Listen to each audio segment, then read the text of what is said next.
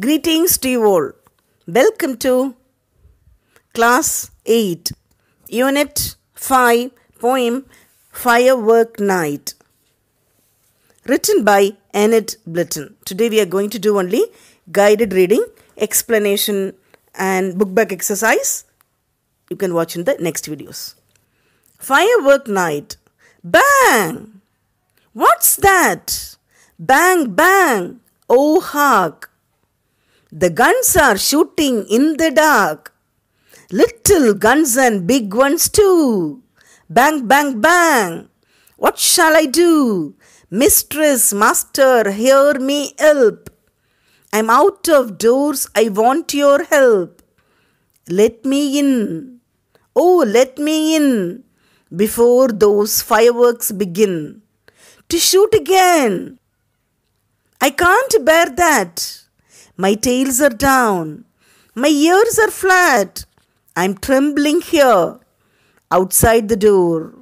Oh, don't you love me any more?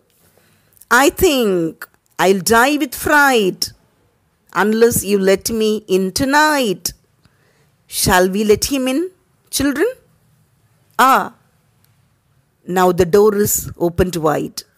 I'm rushing through. I'm safe inside. The lights are on. It's warm and grand.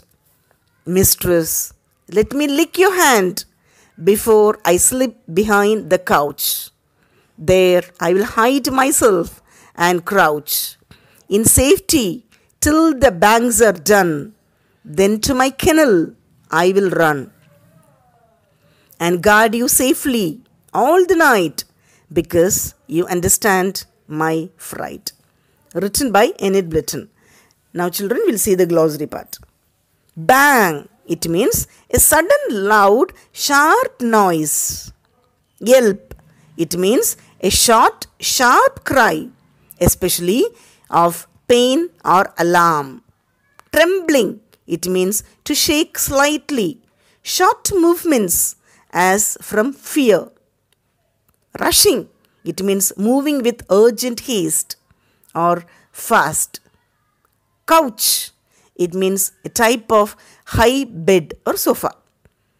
Crouch, it means adopt a position where the knees are bent and upper body is brought forward and down. Kennel, a small shelter for a dog. Fright, it means a sudden intense feeling of fear. So thank you children. Listen again and you can read yourself.